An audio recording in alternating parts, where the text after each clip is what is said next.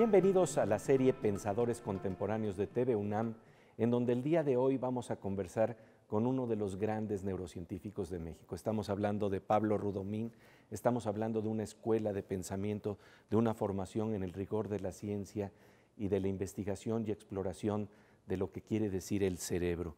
Realmente nos da mucho gusto platicar contigo, querido Pablo. No, el gusto es mío estar aquí en este ambiente tan, tan agradable. Tan lleno de creatividad, de comunicación y de deseos de explorar lo que nos rodea.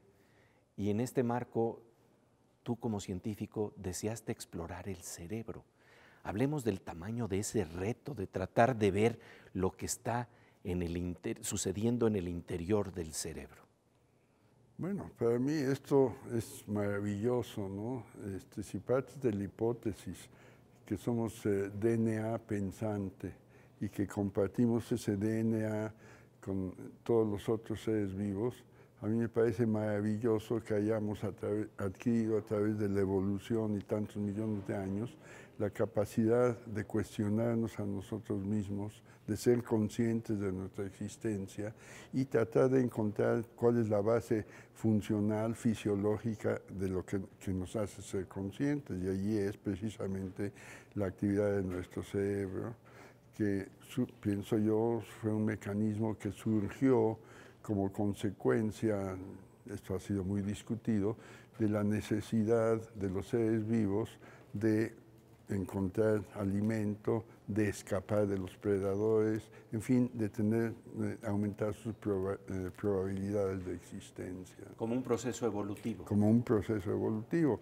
Entonces, si nos comparamos con las plantas, por ejemplo, las plantas ahí están, sí se mueven, sí evolucionan, pero eh, nosotros hemos adquirido esa eh, capacidad, ¿verdad? porque si tú ves ya en el reino animal, tú tienes las esponjas y todos que están ahí ancladas y, pasan, mueven los hilos, las celulitas y pasan la alimentación.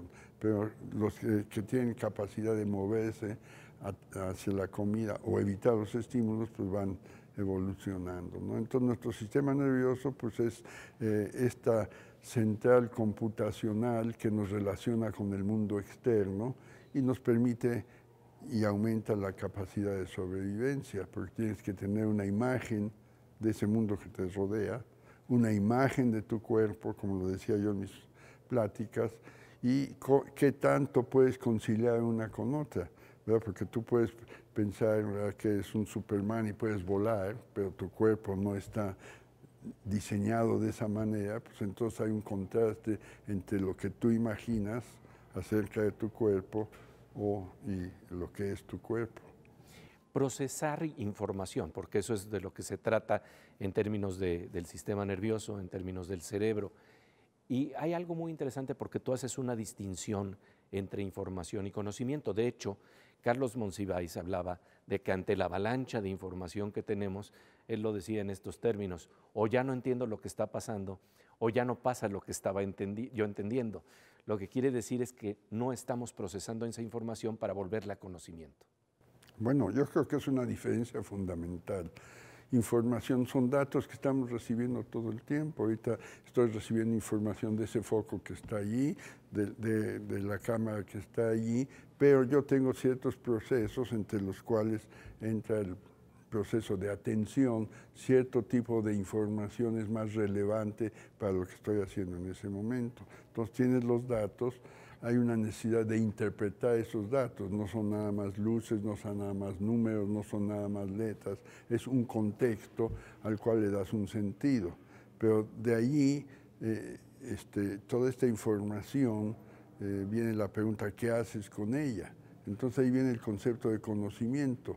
Si puedes conocer las relaciones, la estructura, eh, las secuencias, eso te da posibilidades de interactuar con esa información, interactuar con el mundo externo y de alguna manera aumentar eh, tu, capacidad de sobrevivir. Siempre pongo el ejemplo, por ejemplo, los que están nuestros antepasados. Antepasados me, refiero de los millones de años, ¿verdad? Eh, que andaban por las planicies escapando y de repente veían un árbol. y lo está persiguiendo algún tigre, algún animal, pero su sistema nervioso y el nuestro actualmente solo podía distinguir en dos dimensiones. Entonces construye su cerebro la tercera dimensión. Y la tercera dimensión les permite distinguir entre una rama y otra del árbol y les permite planear sus movimientos para agarrarse de la rama correcta. Imagínate, en dos dimensiones no sabías en cuál agarrarte. Entonces, los que animales, organismos que desarrollaron esa capacidad, pues pudieron sobrevivir, se podían subir al árbol y podían salvarse. Y así como eso hay muchos ejemplos. En mi plática de hoy hablaba yo del dolor. El dolor también es una creación de nuestro sistema nervioso que tiene sus aspectos positivos y sus aspectos no tan positivos, porque el dolor es una señal, una señal de algo que, algo que anda mal pero el dolor en excesivo ya se vuelve en sí un mal por sí mismo. Pero estás hablando de algo muy interesante porque estás planteando que el cerebro no está recibiendo pasivamente la información, sino que estamos en un proceso de construcción de la realidad. Ello incluye entonces también la interpretación y, construcción del dolor y de entender cómo nosotros construimos lo que vemos, lo que está ahí. Por supuesto, hay datos objetivos, pero hay una construcción también que ocurre. Por eso, si tú te das cuenta, ese concepto de la realidad es abstracto, es una definición que decimos, existe el mundo externo independientemente de nosotros. Eso obviamente depende de qué nivel de observación tienes. Ya ves, tienes tú el principio este eh, de incertidumbre de Heisenberg, que si ya estás examinando los movimientos de las partículas, subatómicas, el hecho de observarlas implica interaccionar con ellas, entonces estás cambiando ese. Pero digamos a nuestra escala. Este, la realidad es construida, depende de nuestros órganos, de los sentidos. Te voy a dar un ejemplo. Imagínate que nacemos con unos anteojos infrarrojos, todo el tiempo infrarrojos. ¿Cuál sería nuestra concepción del mundo y nuestra filosofía? Primero no distinguíamos líneas, distinguíamos gradientes de temperatura. Entonces el concepto de línea no existía, límite fijo. Serían imágenes que se esfuminan, pero si dos objetos tienen la misma temperatura, no los distinguirías.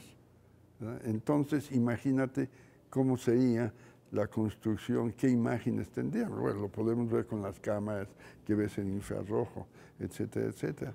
Pero luego viene el concepto de, espacio. Se mueve el objeto, un objeto caliente, deja detrás de decir una estela de, de aire caliente, que tú sumarías al objeto, no sabías dónde están los límites de ese objeto. Entonces cambiarían nuestros conceptos de tiempo y de espacio. Luego filosofía, desde, la, desde, desde la, geometría, líneas paralelas, este, límites entre una cosa y otra, sería diferente, ¿no? De hecho, eh, Maturana y McClulloch hicieron un experimento interesantísimo sobre lo que puede apreciar la rana que de los estímulos visuales y, sensoriales que nosotros tenemos no aprecia más que lo que le sirve para atrapar a la mosca. Exactamente, pero ahí tienes que agregar a Letwin. Sí, Letwin y Maturana. Y yo tuve la fortuna de conocerlo y platicar con él. De hecho, él me decía haber eh, sacado premio Nobel por eso. Claro. Que fueron ideas que después Hubel y Wiesel desarrollaron. Pero el punto es este, a través de la selección tú identificas los objetos, sonidos, formas que tienen un significado funcional para ti. Para nosotros los humanos, por ejemplo, las expresiones faciales son importantísimas. Tú puedes distinguir un gesto, una sonrisa, si la sonrisa es agradable, desagradable. Lo mismo en los animales, te enseñan los dientes, van a atacar. En los humanos, cualquier gesto, cualquier musculito te cambia las expresiones. Nuestro sistema nervioso se ha especializado en eso. Y son las partes del cuerpo que vemos. Por ejemplo, los niños autistas.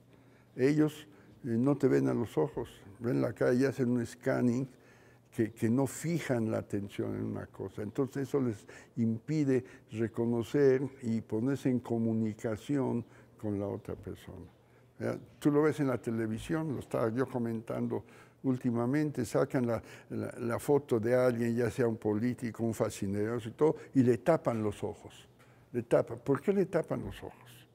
Porque ahí es donde tú en la mirada puedes reconocer a la persona.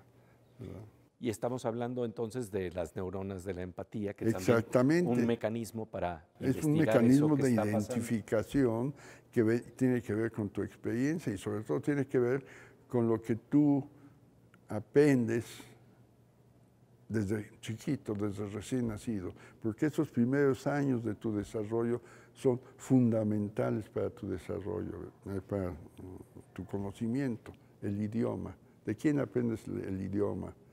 El lenguaje materno, siempre se habla del lenguaje materno. A medida que creces aprendes otros lenguajes, pero ya después, cuando envejeces, eh, inclusive en ciertos estados de demencia, recuerdas el, primer lenguaje, los demás se te olvidan. Igual los olores.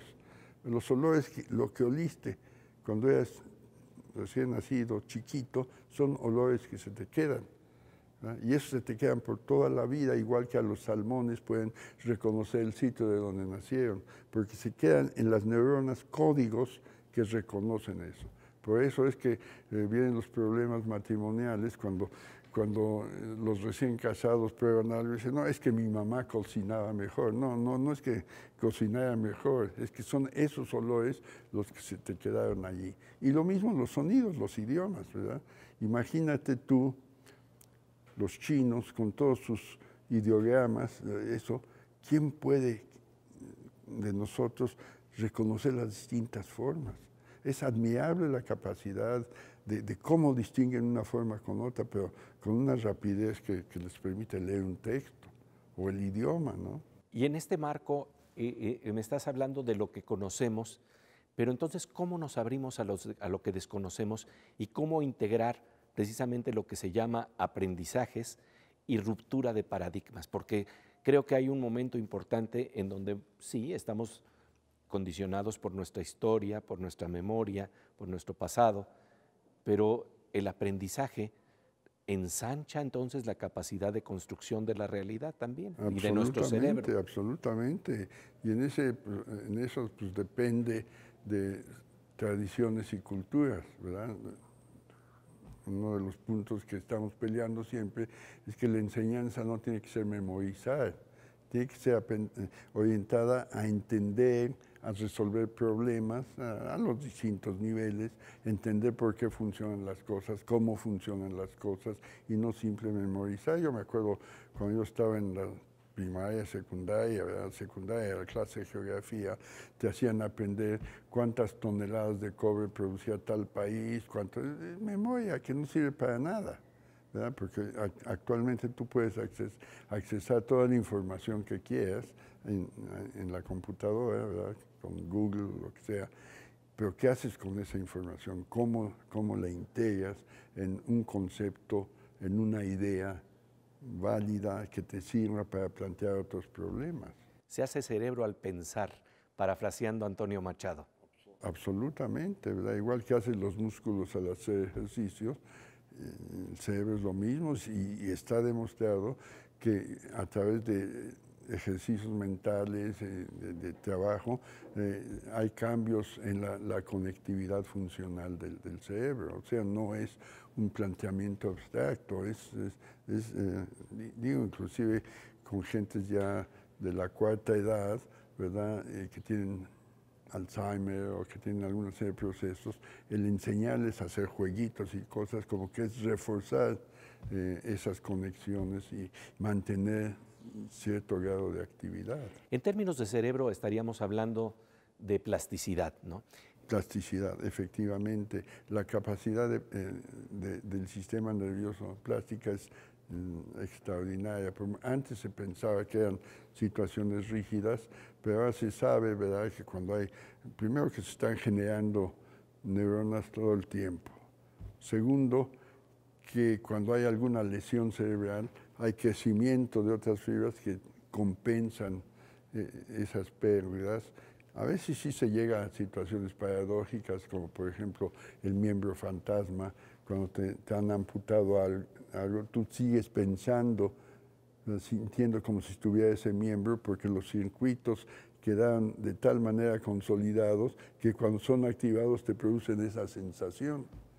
Y, entonces estamos hablando de el cerebro y del sistema nervioso con una capacidad de reconfiguración enorme y esto nos lleva a los estudios que hace sobre médula espinal en donde también encuentras que se dan reconfiguraciones cuando estamos hablando de las señales eh, que, entran y que salen, y cómo a veces cuando se pierden ciertas, ciertas partes del sistema, se vuelve a reconfigurar.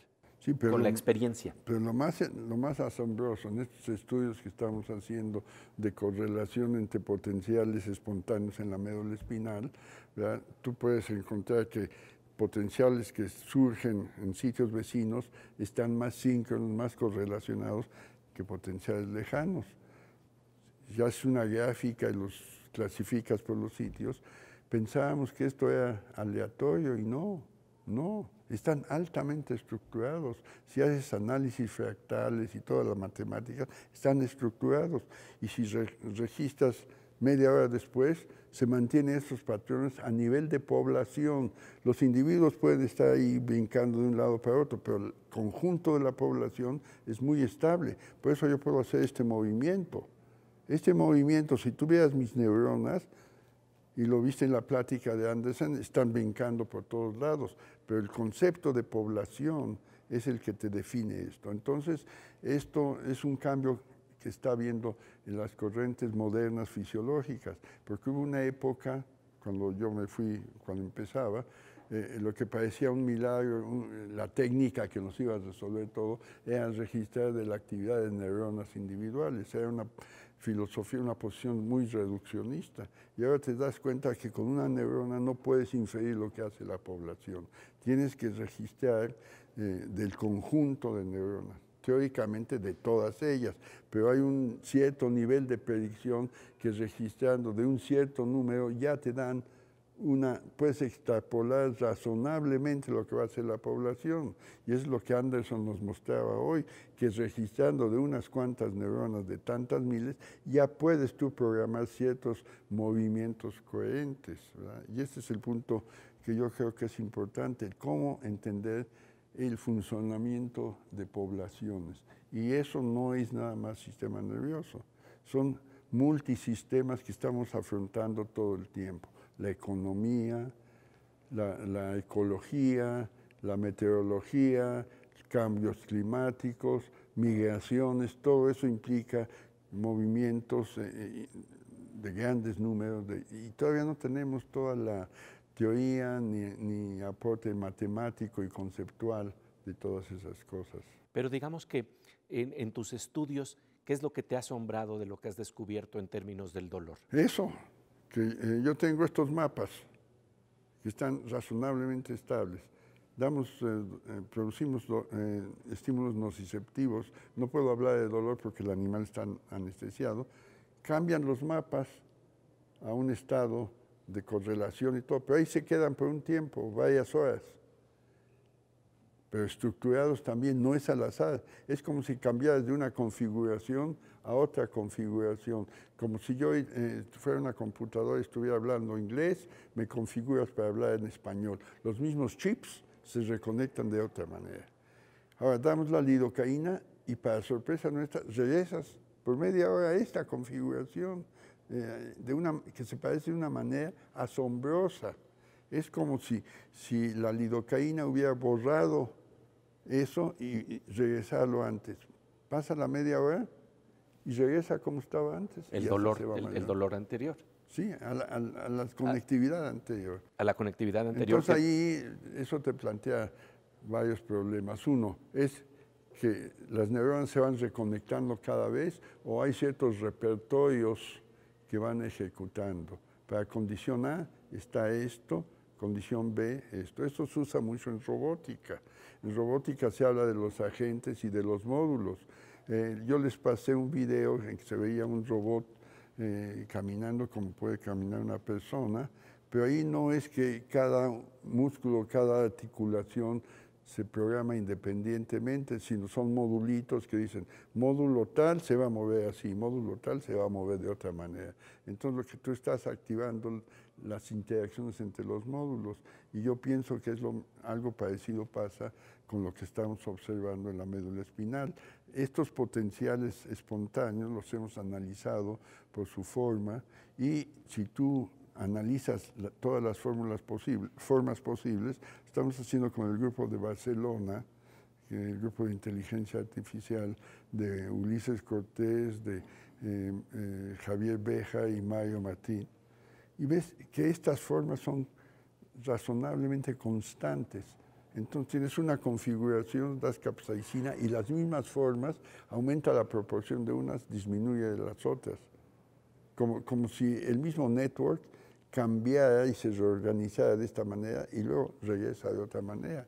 Es, eh, no es nada nuevo, hay muchos de esos conceptos, pero el punto importante es que son estructuras razonablemente estables.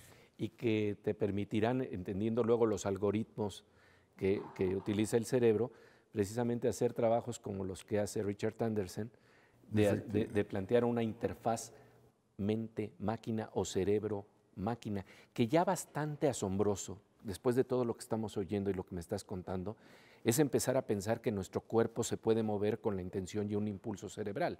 Porque cuando tú te das cuenta de toda esa complejidad que se está poniendo en movimiento, me imagino que te pones en asombro ya nada más de que podamos mover una mano. Y ahora, ¿cómo se puede mover una máquina, un brazo artificial?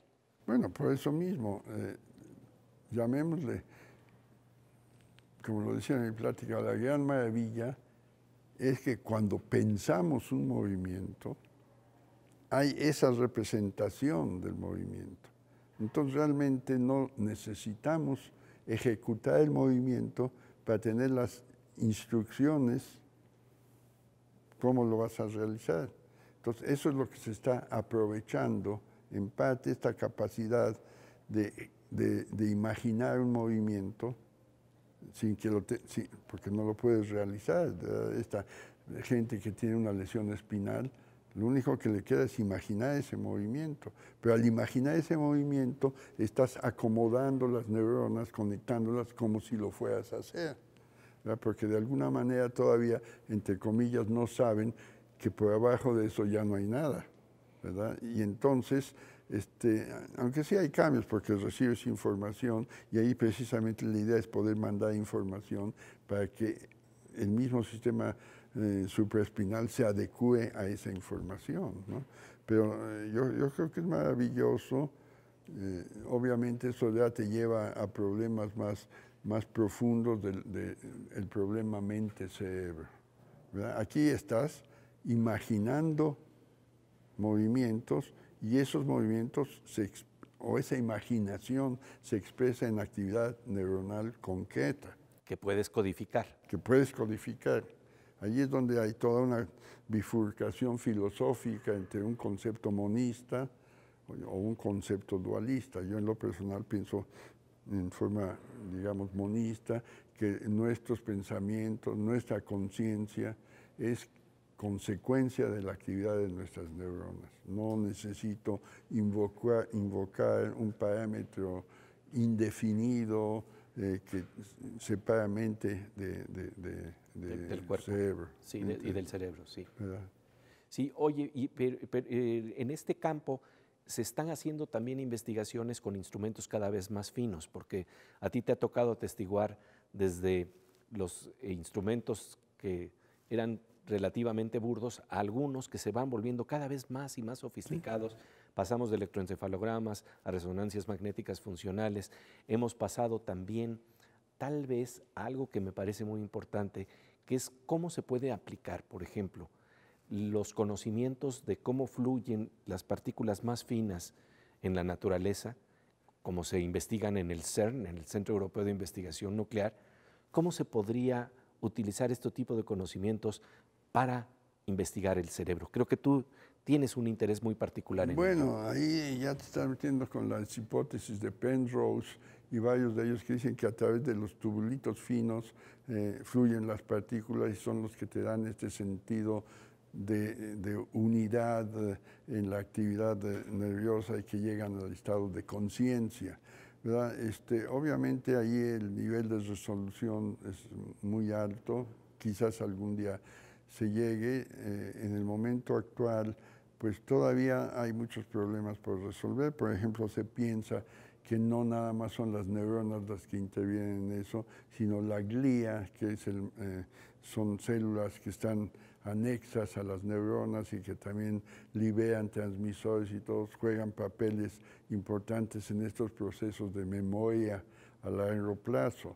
¿verdad? Eh, obviamente cuando hablas de memoria es eh, algún cambio estructural o funcional donde queda almacenado eso de alguna manera. Entonces hay distintas hipótesis. Algunos dicen, no, es que se está reconstruyendo. Es como si fuera un sistema fractal. Tienes esta instrucción y esa a su vez genera otra y genera otra, genera otra, porque dicen que la capacidad de nuestro sistema nervioso, nuestro cerebro, de almacenar toda la información que has recibido eh, todo, toda tu vida sería enorme no podías con ella. Entonces más bien lo que estás almacenando son instrucciones de cómo reconstruir eso. Estás, ah, llamemos, almacenando algoritmos. No sé, esto ya es materia de, filosofía, ¿no? Pero no me sorprendería que fuera así. Cuando, cuando tú estás planteando un sueño de tu investigación o de hacia dónde pudiera llegar la neurociencia, ¿cómo plantearías ese escenario? Que te gustaría tener para explorar más a fondo lo que ocurre en nuestro cerebro? Bueno, eh, obviamente primero está la curiosidad de saber cómo son las cosas. Eso. La curiosidad del niño. La curiosidad del niño que perdura en el científico es lo que llamamos ciencia. Precisamente eh, yo creo que esta necesidad de entender el mundo que nos rodea es lo que nos ha permitido evolucionar hasta donde somos como materia consciente y claro, también nos está llevando y generando otros problemas eh, de contaminación, eh, en fin. Pero eso más bien es por falta de inteligencia social, no falta de inteligencia individual. Podemos predecir, tenemos suficiente ciencia como para saber lo que está pasando y tomar ciertas predicciones. Sabemos eh, la escasez del agua, sabemos de las migraciones que son parte de la naturaleza biológica de los humanos, en fin, una serie de problemas que podíamos anticipar. Pero a nivel de curiosidad intelectual, pues eh, realmente siento que uno de los problemas es cómo es que surgen las sensaciones. Es lo que yo discuto con Ranulfo y, discutimos, ¿cómo es que si yo te estimulo aquí, sientes tacto? Si te estimulo aquí, ves luces. Si son columnas de neuronas, estructuradas de una manera muy parecida. Entonces, ¿por qué el estímulo aquí te produce sensación de tacto? Y aquí, esto es los qualia, todas las cosas que todavía la verdad no entiendo. Qualia, ¿qué quiere decir entender eh, el color, eh, la experiencia de la conciencia? Sí, pero, ¿por qué la sensación? Entonces, le, llaman qualias, ¿no? Sí, sí, sí.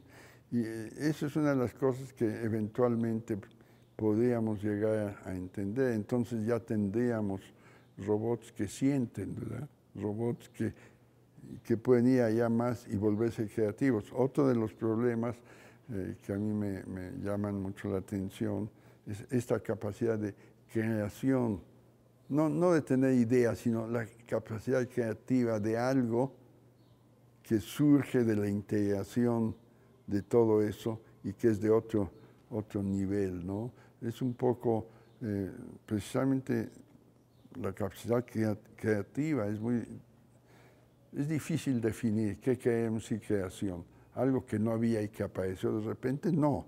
Es la síntesis de una serie de, de mecanismos que en un momento dado te dicen lo que, lo que hoy escuchamos, tienes una idea. ¿no? A mí esto me pasó precisamente este, cuando hablaba yo con, con este, ay, como siempre se me olvida el nombre de este, eh, el, que descubrió el eh, Otto Levi. Fíjate ahorita lo que pasó. No me acordaba. Y allí de repente. Ahí estaba, ¿dónde estaba el nombre? Atrapaste la idea. ¿De dónde lo saqué? Estaba almacenado en algún lado y este es uno de los secretos. Pero él me decía, el experimento sencillo, él hablaba del Vagostoff. Él decía que cuando estimulabas el vago en un corazoncito de rana, el, corazón latía menos porque se liberaba una sustancia, ahora sabemos que es acetilcolina. Entonces le ocurrió una idea muy sencilla. Voy a perfundir este corazón y si es una sustancia, el líquido lo meto a otro corazón y se debe enlentecer. Lo soñaba una vez y otra vez y en la mañana se olvidaba hasta que decidió escribirlo inmediatamente. Eso me lo contó él, todavía llegué a conocerlo. Entonces, cuando ya tuvo la, visión clara, se fue al laboratorio, hizo el experimento y le salió. Después volvieron a repetir y no salía. No salía, le entró la desesperación. Ahora sabemos por qué a veces sí salía, a veces no. Depende del nivel de colinesteasa, depende de muchos factores pero era un sueño que le venía una vez y otra vez y de repente puso todo junto y surgió eso que llamamos un acto de creatividad. Y eso pasa mucho en la música, supongo, en el arte, no sé. Tú tienes la experiencia clara de además convivir con una mujer que es artista. Absolutamente, yo lo veo, ¿no? De repente, ella ahorita que está... Eh, bueno, Flora Goldberg. Flora Goldberg, las esculturas que hicimos, ella tiene el pedazo de bloque de madera y ya está viendo lo que es. es de hecho, es quitar lo que sobra. Ella hace una... Como Miguel Ángel con el mármol. Sí, sí. Veo, ella pone unas líneas. Y digo, Oye, ¿cómo le vas a hacer aquí? Todo, lo, está viendo antes. Lo, tiene esta capacidad de, ver en tercera dimensión.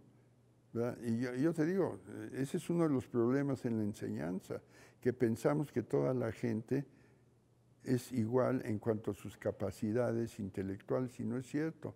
Algunos eh, tienen una capacidad, eh, llamémosle, distintos tipos de inteligencia, capacidad pictórica. Por ejemplo, cuando yo estudiaba, si no escribía las cosas no me podía acordar. Hay gentes que ven un texto y tienen, se acuerdan de todo.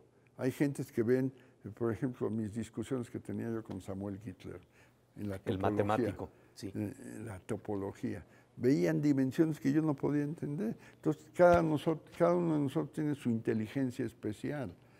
Y la idea es, todas, por eso estoy en contra de todas estas pruebas, estos tests, porque son muy uniformes, sobre todo los tests para, para ser eh, admitido como estudiante. Cada quien tiene su forma de pensar. Esos tests están diseñados para que en un tiempo límite contestes. Pero hay gente que a lo mejor necesita más tiempo para pensar y piensa más profundamente. O hay gente que puede expresarte conceptos, escribir, y no puedes resolverte una ecuación. Son, son dimensiones diferentes. Entonces, el poder entender los procesos mentales ligados a eso sea una maravilla, porque también podemos entender mucho de los problemas de agresividad, los problemas por qué ese miedo al otro que nos hacen considerar al otro como algo diferente, agresivo. Lo entiendo en los tiempos, eh, llamémosle comillas, primitivos, cuando una tribu se defendía de otra tribu, pero eh, tal parece que seguimos igual, ¿verdad? Pero en fin, este, en entender esos mecanismos yo creo que es fundamental. Y que tiene que ver con este acto que, que se llama imaginación, que fíjate es muy interesante, Gastón Bachelard decía que imaginar es ir más allá de las imágenes primeras, con las que hemos crecido y donde estamos delimitados. Eh, y esto a lo mejor se relaciona precisamente con los experimentos de Hubel y Wiesel, en donde pones a unos gatitos en unas cajitas con unas líneas horizontales y en el momento en que están naciendo apenas están construyendo los nervios ópticos y es crítico ese momento para formar las conexiones, y entonces sacas de los, a los gatitos del lugar, de la cajita en donde nada más había líneas horizontales y siempre se van a tropezar con las patas de las sillas y de las mesas. así es. O sea, es, que el, sistema nervioso se, se construye en las conexiones en función de, del mundo externo que te rodea. Y eso es muy importante. Y por lo tanto, necesitamos más estímulo, necesitamos más imaginación. Bueno, y sobre todo la, nueva tendencia con los niños chiquitos, estimularlos, apapacharlos, acariciarlos, enseñarles olores, sabores, la, diversidad, en lugar de tenerlos como desafortunadamente se los tenían por razones obvias, madres que trabajaban al niño ahí envuelto en el chal, sin dejarlo moverse, sin dejarlo nada, ¿no? Y, esos eh, a la larga, pues sí producen limitaciones en cuanto a capacidad de aprendizaje, de movimientos, etcétera, etcétera. Entornos creativos y, e, ese entorno creativo implica la curiosidad que a ti te marca y que marca a tantos neurocientíficos como Gerald Edelman, que planteaba este momento fascinante de tratar de entender cómo es que la materia se convierte en imaginación. Así es, ¿verdad? Y, y entender que el conocer es divertido, no es un castigo, como lo pusieron en tiempos bíblicos. Es divertido, es algo que pues, te puede permitir entender la vida en, una dimensión mayor, ¿no? Enriquecer la mirada. Enriquecer, efectivamente. Y cuando estamos hablando de esto, de este, de este interés tuyo, eh, tienes que acudir a tu genealogía y allá hay huecos. Eh, cuando estás hablando de esta construcción de tu realidad, está el pasado, pero ¿qué pasa cuando en el pasado hay huecos? ¿Qué podemos hacer? Bueno, eh, depende si estamos hablando en el pasado de tu historia propia o el pasado de la historia científica. El pasado de la historia científica e incluso del legado de tus padres y tus abuelos. Bueno, ahí es, este tío. Eh, yo, mi, padre vino a México de una edad de 18, 20 años. Sus padres y sus hermanos se fueron a Estados Unidos. De, parte de mi madre nada más vino ella, mi tío y los abuelos. Los demás en Europa.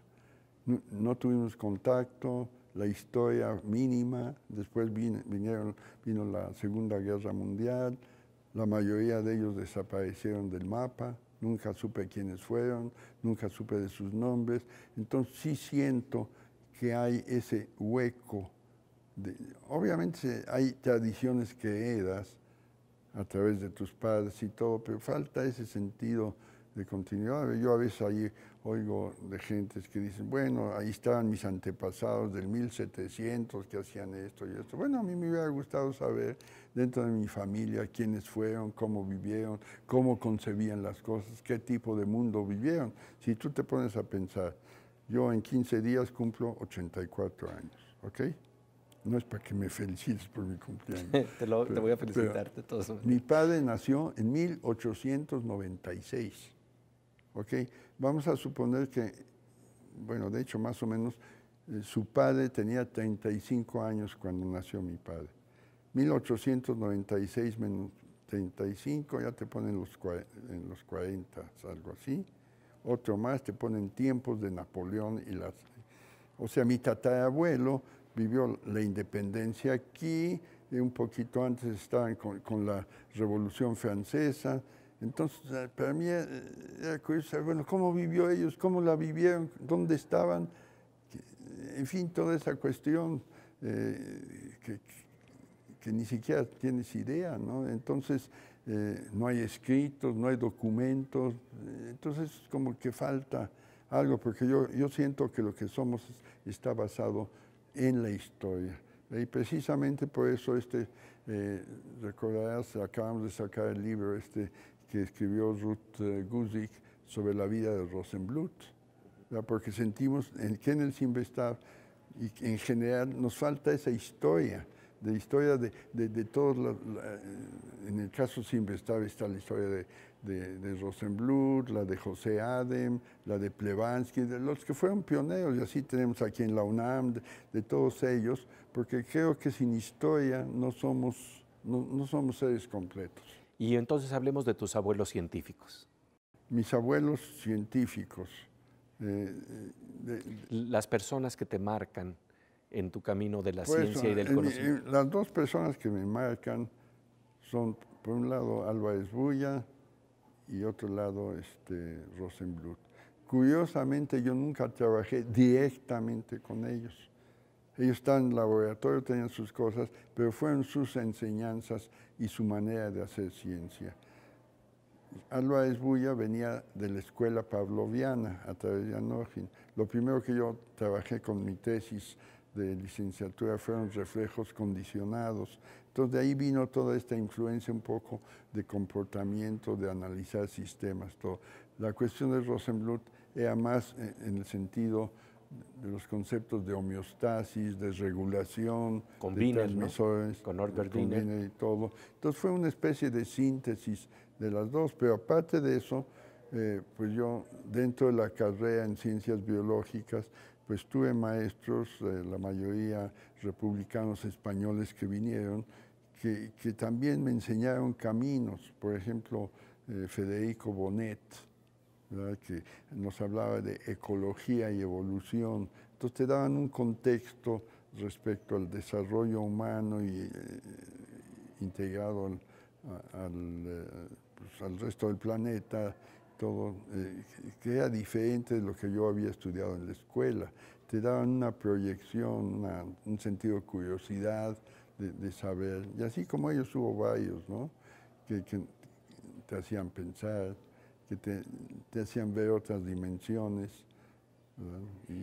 Y, en este marco es interesante porque te toca entonces también crear escuela, porque cuando tienes el legado de un conocimiento, eso lo decía Elie Wiesel, es importante transmitir la memoria, transmitir escuela, y encuentras todo un equipo de colaboradores al que mucho aprecias. Eso llama siempre la atención, ah. que la ciencia es un quehacer colectivo y a veces uno quiere colgarse las medallas de que es gracias a mí, pero tú eras es muy claro que se debe a tu equipo de trabajo. Absolutamente, absolutamente, sobre todo cuando es un trabajo multidisciplinario y experimental, porque eh, son experimentos muy complicados, entonces cada quien pone su parte. Por ejemplo, ahorita en, el laboratorio pues son eh, dos ingenieros electrónicos, computólogos, eh, biólogos, entonces este, es donde surgen las ideas y la forma de llevarlas a cabo.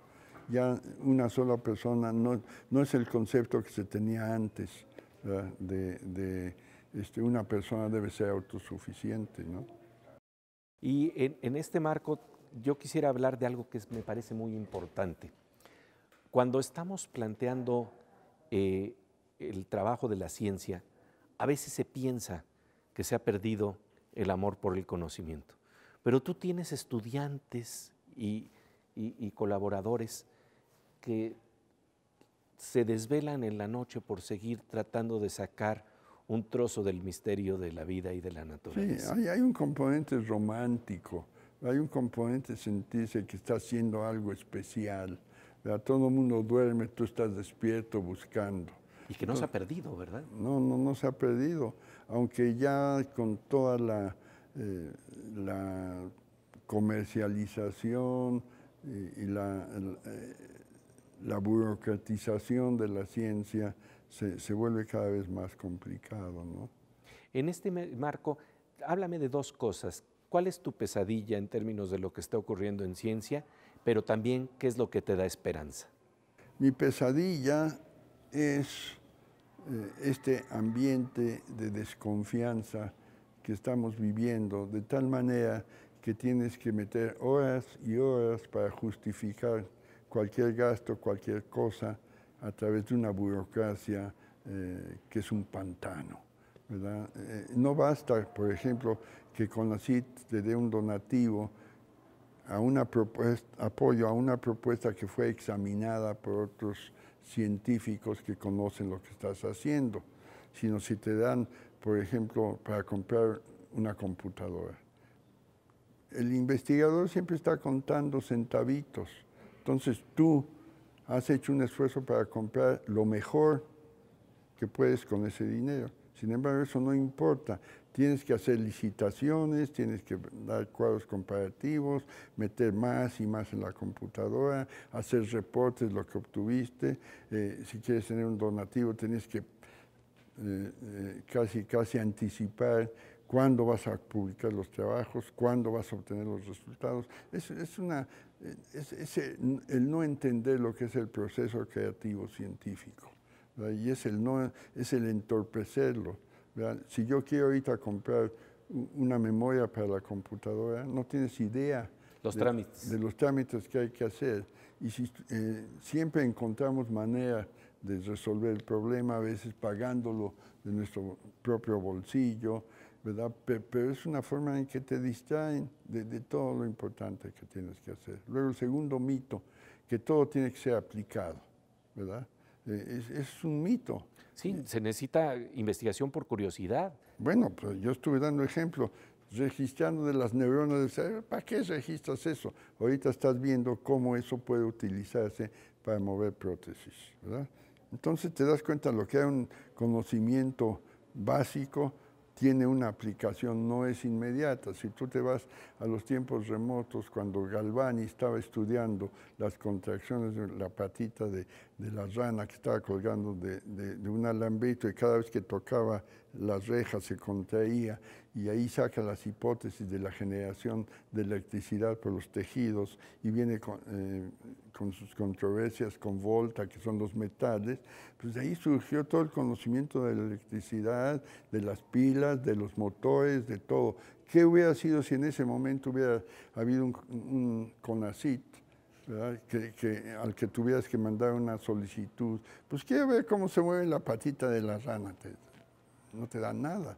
Entonces es- aquí viene este concepto de, fomentar la curiosidad, fomentarla en los niños y tener ese, nivel de confianza en, que vas a hacer hacerlo lo mejor posible, ¿no? En este marco me acuerdo del doctor Gittler, Samuel Gittler, eh, realizó una exploración de ciertas topologías matemáticas que eh, nadie sabía, ni él mismo, para qué se iban a aplicar. Y su hijo Isidoro me cuenta que ahora se usan en robótica. Entonces, es la curiosidad la que lleva a soluciones de conocimiento inesperadas que no son a veces inmediatas, ¿no? Pero, y por el otro lado, lo que te da esperanza, lo que te da esperanza, Ay, no quiero ser pesimista. Y, si entonces vemos- piensa en tu mejor alumno si no quieres ser no, no, pesimista. lo que o- me da esperanza es que hay un proceso, un proceso en el cual cada vez entendemos más, pensando en el sistema nervioso, cómo funciona. Eh, me da esperanza de, de- de que ese es un proceso que va a continuar eh, y que lo divertido no es el llegar a una meta final, sino el camino que estás recorriendo, esa necesidad de entender eh, eso. Entonces lo que yo tengo esperanza es que esa tendencia sea fomentada, sea eh, desarrollada y no sea eh, cercenada por todas estas eh, ideas. De, que la ciencia tiene que resolver los grandes problemas nacionales. Para mí, eh, los grandes problemas nacionales son la colección de pequeños problemas que no se han podido resolver. Por ejemplo, hablan de alimentación, pensemos maíz.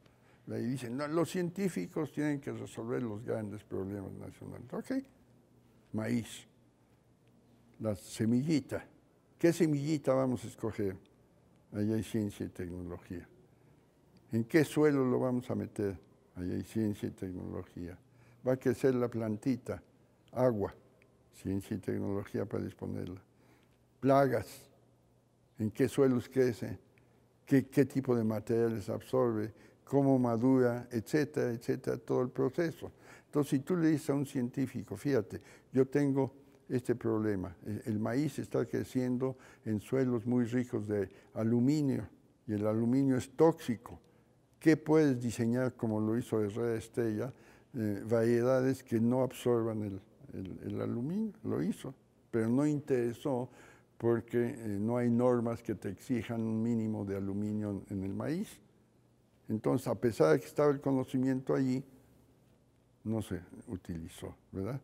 Pero si tú le llegas a un científico y le dices, resuelve este problema en particular, lo puedes resolver. Pero si dices, resuelve el problema de la nación, nadie puede, nadie puede. Es un proceso en el que vamos contribuyendo Todos, todos. todos. Entonces piensa, el presidente sabe todo, no es cierto. Tiene que rodearse de gente que entienda las cosas y que sea capaz de, de diversificar. ¿Quién define un, gran- un problema nacional? Pues deben ser las secretarías de Estado, la Secretaría de Agricultura decir, ¿saben qué? Tenemos este problema. Entonces necesitan ellos tener investigadores allí que pueden identificar el problema y decir, bueno, nosotros tenemos investigadores en la Secretaría que pueden hacerlo, implica investigación en la Secretaría, implica aumentar las posibilidades de hacer investigación. Ah, no tenemos mundo académico, ¿a quién le interesa esto? Ah, no tenemos, vamos a importar a alguien. Entonces, es tener una concepción más amplia de los problemas que puedes resolver y no pensar simplemente con eslogans así eh, populistas, digamos, vamos a resolver todo, vamos a ser autosuficientes. Necesitas toda una estructura, ¿no? Y fíjate que estás tocando un punto que para finalizar este programa creo que sería muy interesante.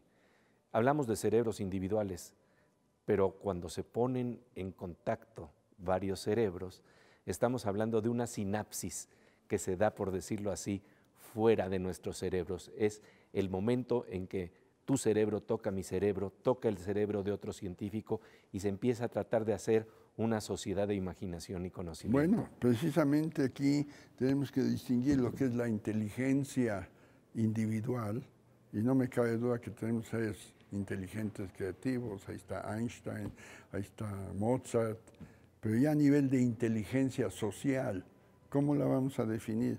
Bueno, como una sociedad que es capaz de resolver sus problemas.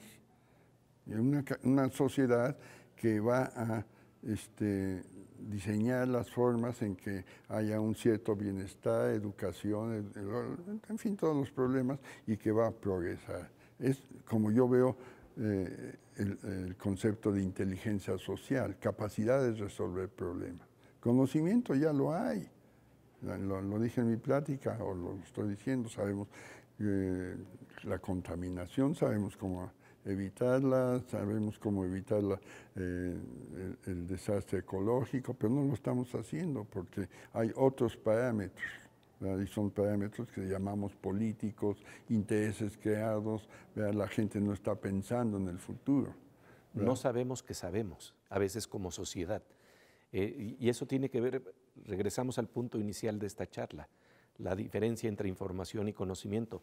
la información está ahí, pero no se hace conocimiento en la medida que no nos apropiamos de ello como sociedad. Sí, pero hay un punto final en esto.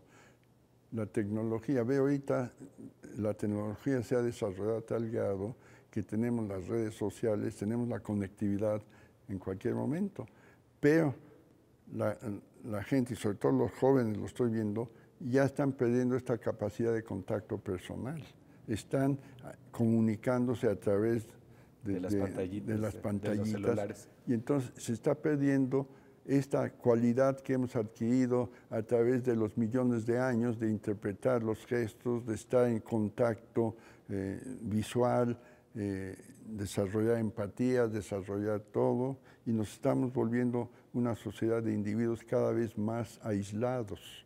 Entonces, aquí hay situaciones de solidaridad que la vimos surgir cuando fue el terremoto, pero que se pierden muy rápido porque la gente vuelve a meterse en esto. Entonces aquí este, un parangón quizás no sea muy bueno, así como cuando tienes el estímulo con capsaicina, que se sincronizan todas las neuronas, aquí necesitamos la conciencia de que si no tenemos este, este elemento sincronizador que nos haga lograr ciertos objetivos específicos, pues va a haber la entropía, alta entropía y cada quien por su lado y no llegas muy lejos, ¿no?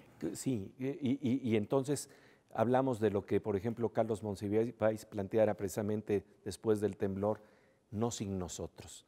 Realmente de lo que se necesita es la construcción de un nosotros. Nosotros. Y ese nosotros es el contacto de un cerebro con otro cerebro. Y la solidaridad. La solidaridad. Que además, a lo mejor ya estamos hablando más de cerebro, el contacto de un corazón con otro corazón? Bueno, corazón, más bien un cerebro con otro cerebro, ¿no? Porque corazón, corazón, a menos que lo estés donando y haciendo uh, circulación. Bueno, el contacto de una imaginación con otra imaginación, de un cerebro con De un cerebro, con otro cerebro, de los cerebros.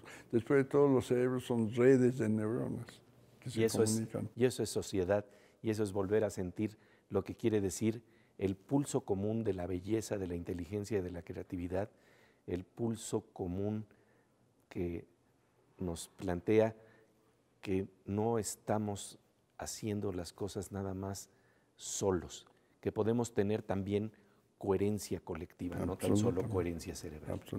Pablo Rodomín, muchísimas gracias por esta conversación. Y bien, hemos terminado así este programa especial de Pensadores Contemporáneos en TV1.